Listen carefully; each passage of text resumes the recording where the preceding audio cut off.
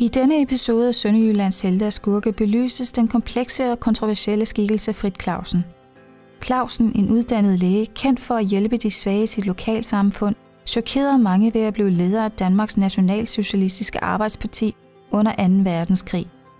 Hvordan kunne en mand, der var kendt for sin medmenneskelighed, pludselig tage sig en mørk politisk drejning?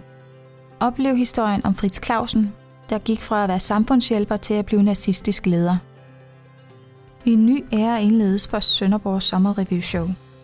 Efter flere år med succes under ledelse af ægteparret Janne Bol og Claus Christensen, er det nu tid til at give stafetten med Sønderborg Sommerrevy videre. Mød den nye ledelse, som med deres baggrund inden for især musical-genren er klar til at tage sommerrevyen til nye højder. Oplev stemningen ved Sankt Hans Aften for landsbyen Genner. Hør to unge piger fortælle om deres kreation af en heks, der skal bruges til bålet. Og se, hvordan bysamfundet samles om deres tradition og fejrer sommerens festbegivenhed.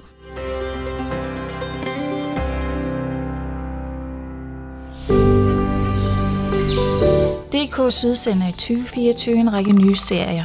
Naturen kalder. Træd ind i naturens forunderlige verden og oplev årstidernes magiske skiften, når vi udforsker naturens mangfoldighed i al sin pragt.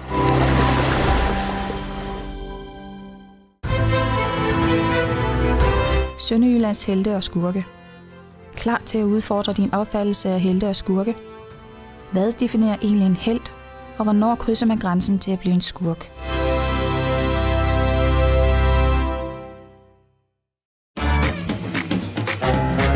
Musik i blodet. Er du klar til at stikke fingrene ned i den musikalske muld?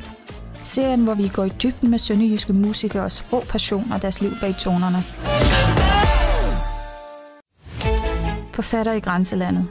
Udforsk inspirationen til historien bag de nedfældede bogstaver og opdag fortællingen bag nogle af de sønderjyske forfatteres værker. Fra fængslende fiktion til tankevækkende faglitteratur. Så er det søj.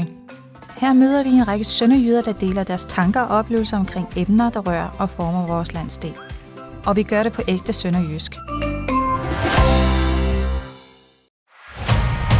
Oplev Europeada, en unik fodboldturnering, hvor Europas mindretalssamfund viser deres færdigheder på grønsværen.